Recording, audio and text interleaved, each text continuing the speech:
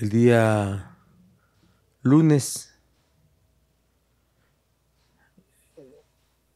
a la, alrededor de la una de la tarde estará en Puebla el cónsul de Nueva York, de México en Nueva York, el doctor Jorge Islas, quien traerá consigo